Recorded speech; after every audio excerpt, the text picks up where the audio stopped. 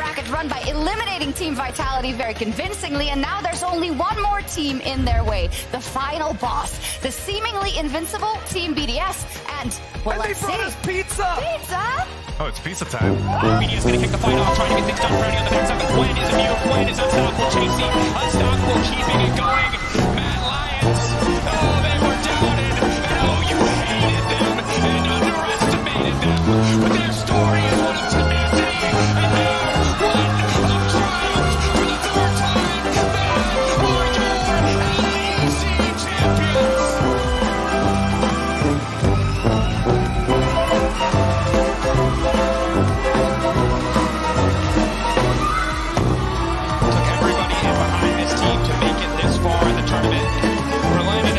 Give it up for your champion, man.